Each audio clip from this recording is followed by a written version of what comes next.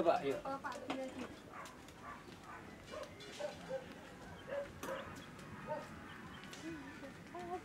Mbak Wati, Mbak Wati, tidak boleh kunci ditomor dari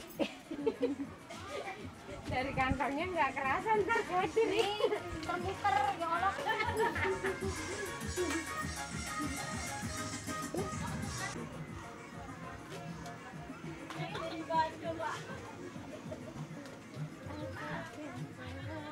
Pak Imar kita nih Yang bawah nih yang tua tapi. Oh ya? Ibu.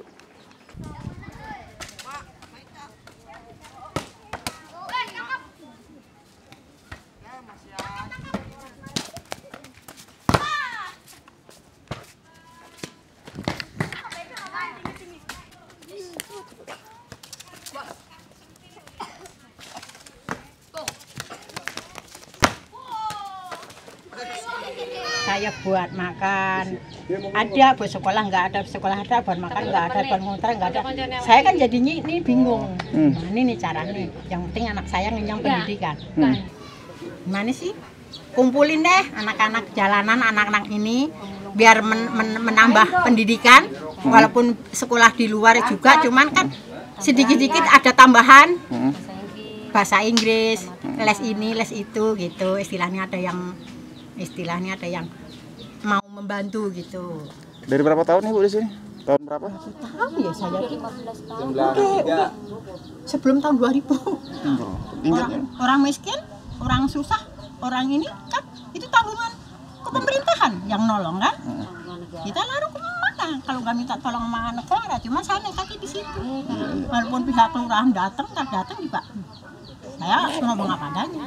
Memang saya salah. Ini bukan rumah saya bukan tanah saya. Cuman kan saya bukan orang luar bukan orang pendatang mana-mana. Saya asli orang Indonesia. Karena saya orang susah orang miskin nggak punya tempat.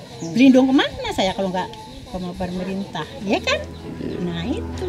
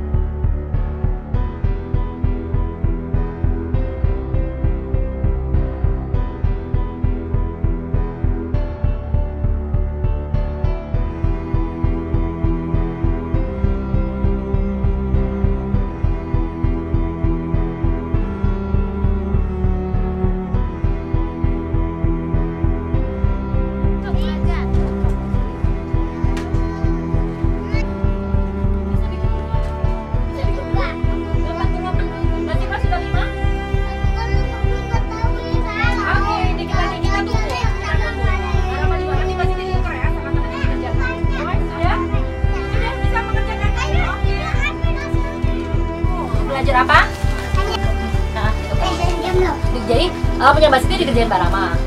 Oke. Ini punya, ini boleh nanti. Nah, tujuhnya disimpan, tiganya dihitung. Tujuhnya disimpan, habis tujuh. Well, hampir mendekati 10 tahun. Mas Arga Hani Han, Han, kita di sini hampir 10 ya. iya habis lagi ya Jadi kami ini kami ini tuh periode kedua. Periode kedua dalam arti berlanjutnya sebuah kehidupan yang emang harus harus harus ada. Karena dulu kami kan digusur tahun berapa ya? Lupa lupa ingatan. Han, digusur 2010 digusur 2010 kami digusur. Cuman ada ada semacam agreement yang tidak berpihak sama orang kecil.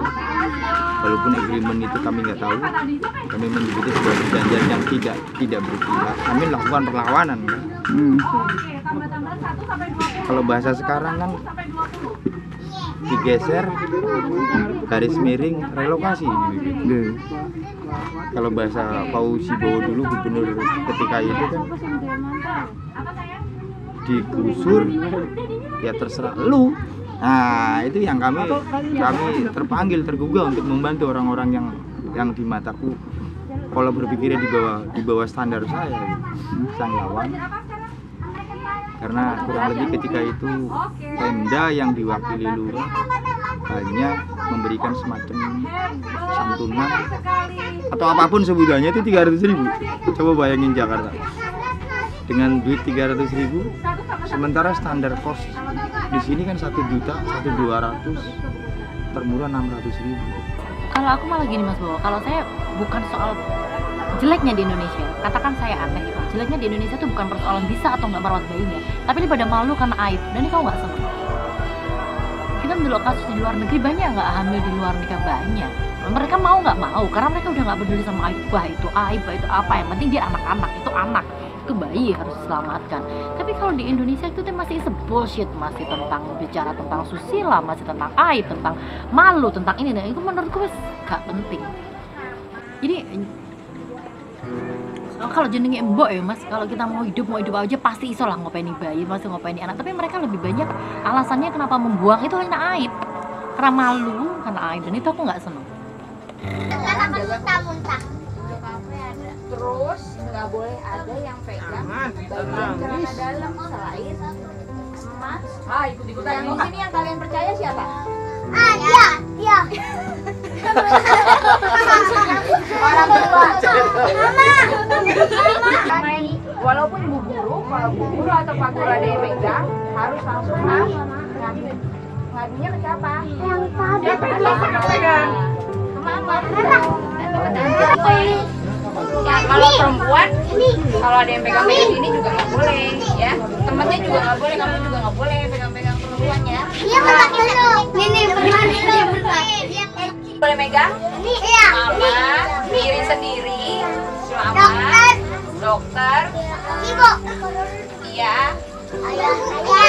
ayah, om. Nggak boleh, om nggak boleh, kakak nggak boleh, nggak boleh, doang yang boleh. Cuma kalian sendiri, mama, papa, om dokter, bu bidan, bu dokter, oke? Ingat ya, ingat ya. Kalau ada yang pegang-pegang, walaupun bu guru atau siapa pun, kalian langsung haruslah lapor, lari. Kalau takut langsung lari ya. Terus ngomong ke mama. Dengerin ya, dengerin ya.